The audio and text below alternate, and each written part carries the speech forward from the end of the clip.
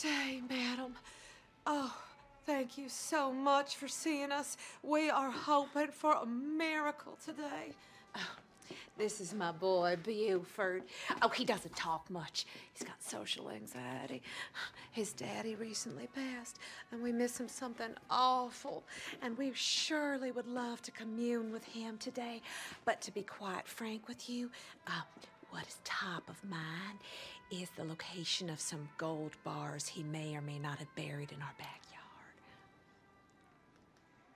Please.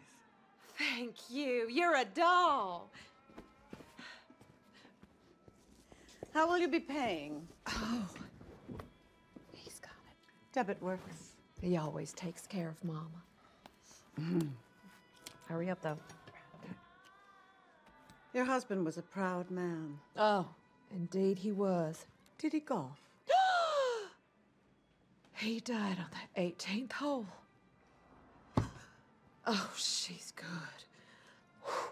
Now, the location of those gold bars? Hmm.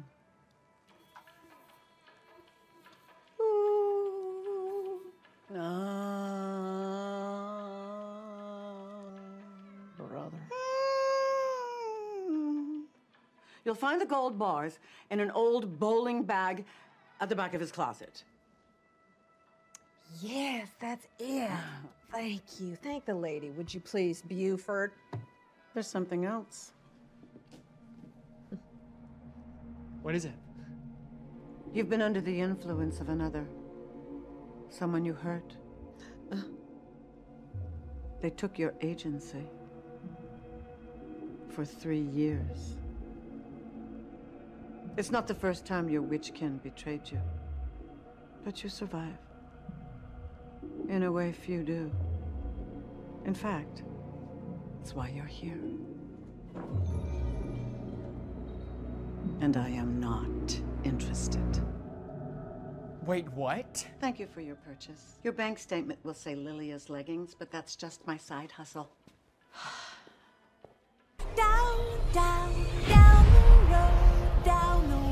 the road. Down the witch's road. Down the witch's road.